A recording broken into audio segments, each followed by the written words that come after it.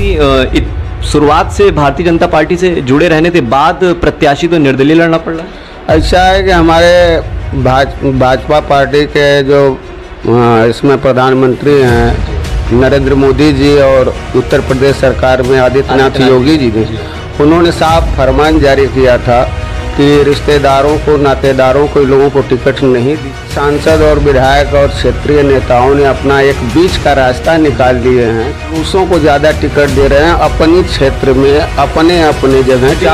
लेकिन चापलूसों को टिकट देने से क्या व्यवस्थाएँ सुधर जाती हैं? चापलूसों को टिकट देने से हमारे पार्टी का बहुत ज़्यादा नुकसान उत्तर उन्हें मिला है जिनका कोई अ, अ, मतलब चेहरा जो है परिचित नहीं था। उनका पार्टी में कोई अस्तित्व नहीं अस्तित्व ही नहीं था। खाली वो पार्टी का चापलूसी करने के आधार पर पा गए। संगठन नाम वहाँ भेज रहा है कि इनको टिकट दीजिए तो उनको किनारे कर दिया जा रहा है। वो अपना गोटी बैठा रहे हैं और जब चुनाव हारेंगे तो संगठन वालों को दोष देंगे कि नहीं आप लोग इसमें कैसे हार गए? जनता भी तो ये देख रही हो। जनता देख रही है। आज इसी आप भी देख रहे हैं? आज इसी का कारण है कि मुरली मनोहर जोशी जी सांसद थे यहाँ पर। शंकर प्रसाद जायसवाल जी थे। तीस पैंतीस साल से भाजपा यहाँ मेयर है? मेरा नाम सरोज देवी है। पति आनंद कुमार गौन। ये पहली बार आप महिला सीट से चुनाव लड़ रही हैं। जी। योजना जो पहुँच नहीं पाई है जैसे वृद्धा पेंशन हुआ बच्चों की जो। इस मुद्दे पे सब ध्यान। मेन तो उठाएँगे। जी। जी।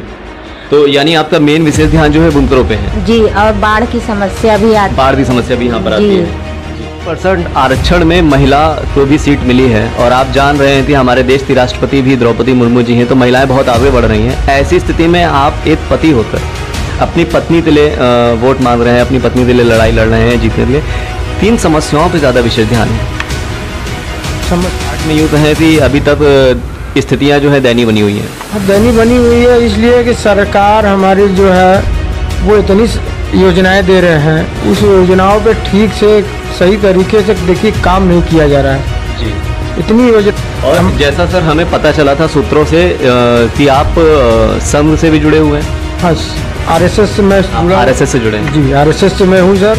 सर्वधर्म और बिना किसी भेदभाव के जो है आपस में सहमति रखना आपस में व्यवस्थाएँ बनाना। ये सत्य है, यही होना भी चाहिए। इंसानियत ऐसी, स्थिति में अपनी पत्नी का सपोर्ट कैसे कर रहे जनता से अपील कर रहे हैं जनता हमको वोट देकर जितनी समस्याएँ हैं हम लोग उसको संसद तक पहुँचा कर उसको निदान करें। उस समस्याएँ में गरीब कस्बे के लोग ज़्यादा परेशान।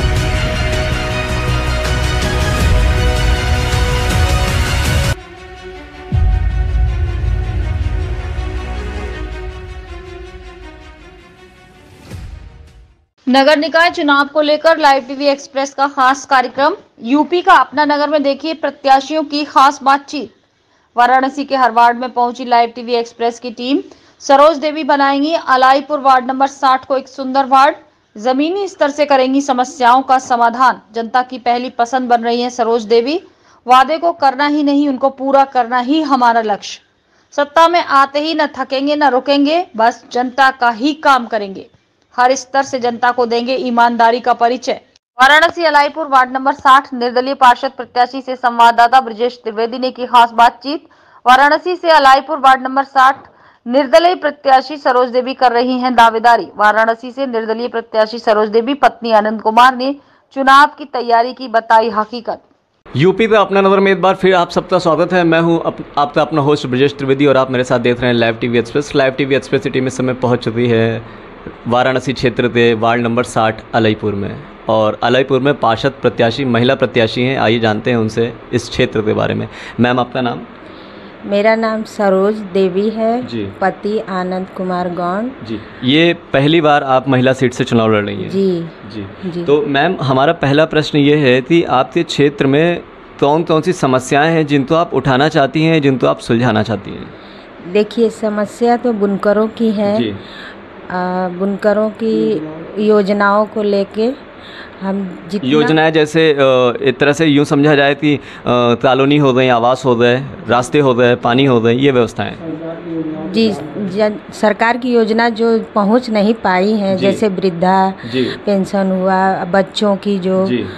इस मुद्दे पे सब ध्यान देंगे। जी। जी। तो इस मुद्दे पे आप ध्यान देंगी मैम तो इस हम आपसे ये पूछना चाहते हैं कि जैसे रास्ते हुए बिजली हुई और बुनकरों की मेन चीज़ आप समस्याएँ बता रही हैं कि बुनकरों को आवास नहीं मिलते और एक सबसे बड़ी बात ये थी जो व्यवस्थाएँ बाहर से आती हैं वो आते आते धीरे धीरे यहाँ पहुँच नहीं पाती हैं जी। तो इनको आप कहाँ पे उठाना चाहते हो? संसद भवन। आप संसद भवन में इनको उठाएँगे? जी। जी। तो यानी आपका मेन विशेष ध्यान जो है बुनकरों पे है। जी और बाढ़ की समस्या भी आती बाढ़ की समस्या भी यहाँ पर आती है। जी। तो अ, हम सुनीता देवी देवी जी से हमारी बात हो रही थी। अब हम आपको अ, सरोज देवी जी से अब हम आपको मिलाते हैं इनके पति आनंद कुमार जी से। जी आपका बहुत बहुत स्वागत है सर हमारे चैनल में। धन्यवाद सर। तो सर जैसे कि तैंतीस परसेंट आरक्षण में महिला को भी सीट मिली है और आप जान रहे हैं कि हमारे देश की राष्ट्रपति भी द्रौपदी मुर्मू जी हैं तो महिलाएँ बहुत आगे बढ़ रही हैं। ऐसी स्थिति में आप एक पति होकर अपनी पत्नी के लिए वोट मांग रहे हैं अपनी पत्नी के लिए लड़ाई लड़ रहे हैं जीतने के लिए। तीन समस्याओं पर ज़्यादा विशेष ध्यान है। समस्या तो देखिए है नहीं। समस्या है वो लोग समझते हैं लेकिन उस पर कार्य हो जी। कार्रवाई हो तो कोई भी समस्या कठिन नहीं है वो हल हो जाएगी। यानी वार्ड नंबर साठ में यूँ तो है कि अभी तक स्थितियाँ जो है दयनीय बनी हुई हैं। हाँ, दैनी बनी हुई है इसलिए कि सरकार हमारी जो है वो इतनी योजनाएँ दे रहे हैं। उस योजनाओं पे ठीक से सही तरीके से देखिए काम नहीं किया जा रहा है। जी। इतनी योजनाएँ अगर सरकार दे रही है तो इसमें जो है सभी लोग को सही सही राय दे के योजनाओं को आगे बढ़ाना चाहिए। और हम, जैसा सर हमें पता चला था सूत्रों से कि आप संघ से भी जुड़े हुए हैं। हाँ आर एस एस से मैं आप जुड़ा आरएसएस से जुड़े हैं। जी आर एस एस से मैं हूँ सर। जी। तो वो तो एक तरह से उनका नारा भी है कि सर्वधर्म और बिना किसी भेदभाव के जो है आपस में सहमति रखना आपस में व्यवस्थाएँ बनाना। ये सत्य है, यही होना भी चाहिए। तो इंसानियत ऐसी स्थिति में अपनी पत्नी का सपोर्ट कैसे कर रहे हैं? जनता से अपील कर रहे हैं जनता हमको वोट देकर। जितनी समस्याएँ हैं हम लोग उसको संसद तक पहुँचा कर उसको निदान करें। उस समस्याएँ में गरीब कस्बे के लोग ज़्यादा परेशान हैं। उन्हें इतनी सरकार की योजनाएँ उस योजनाओं को गरीब में पहुँचना बहुत ज़रूरी मैम ने बोला कि यहाँ पे बुनकरों की बड़ी समस्याएँ हैं तो ये इस पर आप ज़रा बताना चाहेंगे हाँ बुनकरों की तो है भाई साहब। बुनकरों की ये है बेचारे वो उनके यहाँ पानी नहीं ठीक से मिलता है। बिजली तो है बढ़िया लेकिन सिस्टम बढ़िया नहीं है। वो बेचारे ठीक से मोहल्ले में वार्ड में रह नहीं पाते हैं। लोग बुनकरों की समस्या को भी निदान करेंगे। तो सर हमारा एक प्रश्न एक ये भी है कि जैसे कि परिस्थितियाँ ऐसी होती हैं कि आपके पास आप जैसे जीतते हैं तो एक समस्या और भी आ सकती है कि बजट आपके पास उतना नहीं आ सकता या व्यवस्थाएँ उतनी अच्छी नहीं हो सकती। तो ऐसी स्थिति में यदि जनता तो आप पर आप जनता आप पे भरोसा कर रही है अगर आप जीत रहे हैं चुनाव तो उस भरोसे भरोसे तो आप कैसे कायम रखेंगे? भरोसे को कायम रखेंगे सर एक ही जगह से बजट नहीं आता है। जी। उसमें बहुत सारी तरीकाएँ होती हैं। अगर उस तरीके से हम लोग काम करेंगे तो चारों तरह से बजट निकाल के अपने वार्ड को सुरक्षित अच्छा बनाने का पूरा प्रयास करेंगे। यूँ कहें कि वार्ड नंबर साठ जो है एक सुनहरा वार्ड बनेगा सुनहरा वार्ड बनने जा रहा है सर। बनने जा रहा है। हाँ जीतने के बाद हम लोग का ये पहला कदम यही रहेगा कि इस वार्ड की सारी समस्याओं पे अ, धीरे धीरे धीरे कार्य करते हुए उसको संपूर्ण रूप से बना सही बनाना है। यानी यूँ कहा जाए कि इंसान की रीढ़ की हड्डी बोलिए या उसकी व्यवस्थाएँ बोलिए चाहे वो शिक्षा हो स्वास्थ्य हो महिला सुरक्षा हो रास्ते हो नाली हो और कॉलोनी हो वृद्धा पेंशन योजना हो ये सारी समस्याओं को आप जड़ से जो है सुलझाएँगे। बिल्कुल सर उसमें एक पढ़ाई भी है। पढ़ाई पढ़ाई सबसे बड़ी बात शिक्षा। सबसे बड़ी बात शिक्षा होती है। शिक्षा के लिए जो सरकारी स्कूलें वगैरह जहाँ अगर इस वार्ड में चल रही है तो उसमें सभी लोग को गाइड करके सही तरीके से शिक्षा प्रदान भी कराने का प्रयास कर किया जाएगा। जी तो ये हमारे साथ थे सरोज देवी जी और उनके पति आनंद जी। तो वार्ड नंबर साठ में स्थिति ऐसी है कि परिस्थितियाँ डिस्टर्ब हैं और बुनकरों पर विशेष ध्यान है तो कहीं ना कहीं महिला होते हुए तैंतीस परसेंट आरक्षण में एक महिला भावी प्रत्याशी है और स्थितियाँ बदलने वाली हैं। ये तो आने वाला समय ही बताया था कि वार्ड नंबर साठ एक सपनों का वार्ड बनता है या नहीं बनता है लेकिन परिस्थितियाँ और स्थितियाँ आप सबके सामने हैं महिला लड़ रही है और एक पति जो आरएसएस से जुड़े हुए हैं तो शिक्षित समाज है। एक शिक्षित समाज होने के नाते लाइव टीवी एक्सप्रेस आप सबसे अपील यही करता है कि वोट है। वोट ज़रूर दीजिए, वोट अपना मत छोड़िए और वोट वहाँ दीजिए जो शिक्षित समाज हो। बाकी जनता जनार्दन है। बने रहिए हमारे साथ और देते रहिए Live TV Express, Uttar Pradesh. जैसा कि आपने अभी देखा थी वार्ड नंबर 60 में जो है निर्दलीय प्रत्याशी जिससे अभी हमारी बात हुई उनके पति से बात बात हुई हमारी। अब हम एक बात और आपसे बताना चाहते हैं। हमें पता ये चला है कि जो प्रत्याशी यहाँ से लड़ रही हैं सरोज जी वो भारतीय जनता पार्टी से भी जुड़ी हुई थी और भारतीय जनता पार्टी में कहीं ना कहीं उनको टिकट नहीं मिल पाया। तो इसका कारण हम यहाँ की जनता से जानते हैं। सर आपका नाम? हमारा नाम संतोष तिवारी है। तो क्या कारण है कि शुरुआत से भारतीय जनता पार्टी से जुड़े रहने के बाद प्रत्याशी तो निर्दलीय लड़ना पड़ रहा है। ऐसा है कि हमारे भाज भाजपा पार्टी के जो इसमें प्रधानमंत्री हैं नरेंद्र मोदी जी और उत्तर प्रदेश सरकार में आदित्यनाथ योगी जी ने उन्होंने साफ़ फरमान जारी किया था कि रिश्तेदारों को नातेदारों को लोगों को टिकट नहीं दिया जाएगा। उसमें सांसद और विधायक और क्षेत्रीय नेताओं ने अपना एक बीच का रास्ता निकाल लिए हैं कि अपने चापलूसों को ज़्यादा टिकट दे रहे हैं अपनी क्षेत्र में अपने अपने जगह चापलूसों लेकिन लेकिन चापलूसों को टिकट देने से क्या व्यवस्थाएँ सुधर जाती हैं। चापलूसों को टिकट देने से हमारे पार्टी का बहुत ज़्यादा नुकसान हो रहा है। वो अपने चापलूसों को दे रहे हैं उसका जवाब देना है।